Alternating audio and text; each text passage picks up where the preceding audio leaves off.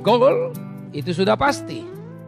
Tapi apakah gol yang Anda buat menjadi gol yang sesungguhnya? Itu pertanyaan yang patut untuk dijawab. Karena itulah, biarkan semua berakhir menjadi satu gol. Ada gol yang Anda buat untuk jangka pendek, bukan? Jangka panjang dan menengah. Atau jangan-jangan semua jangka berjalan tak menjadi pendek, tengah atau panjang karena memang tak pernah ada. Sehingga tak pernah ada gol. Yang patut untuk diuji apakah sudah menjadi gol karena memang tak punya. Apakah gol itu telah menjadi gol? Patut kita bertanya. Supaya apa yang kita jalani dalam kehidupan tak sekedar menjadi perjalanan yang sia-sia. Tapi boleh menjadi perjalanan yang penuh dengan daya dan dampak di dalam kehidupan kita.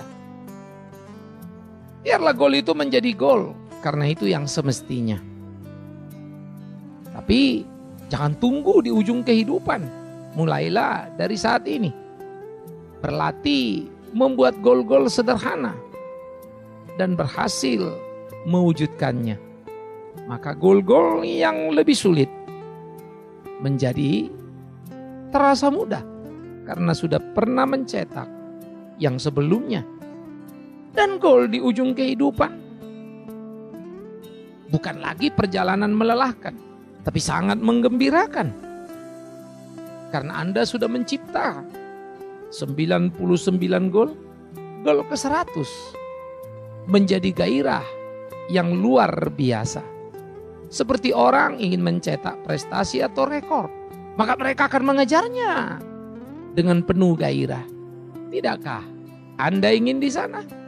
Karena itu jangan lupa, buat gol demi gol, dan gol itu jadikan gol yang nyata.